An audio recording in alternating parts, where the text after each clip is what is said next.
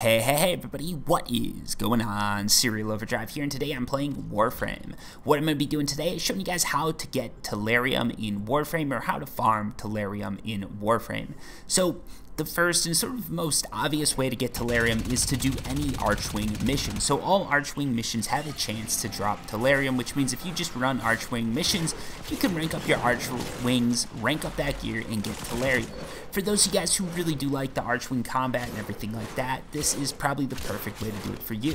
But if you don't like Archwing combat, you're going to notice that everything's spaced out, right? All your enemies are spaced out, so there is a low, low chance that each one of those you know, loot Tellurium, and because you're not running through them like you would on a ground mission, it's going to take a, well, it's going to take longer than ideal.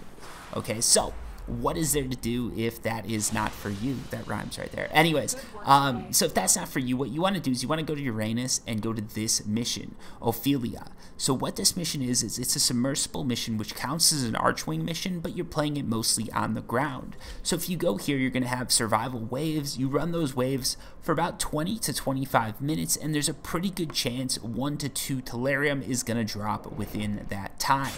So it's not going to be a ton of Tellurium, but this is the best way to farm Tellurium if you're not a fan of Archwing missions and you just want to get it fast. It's still going to take a while, and if you really want to, you can go to the store and actually just buy Tellurium for Platinum. So that's another option, but if you want to farm it, that's how you do it.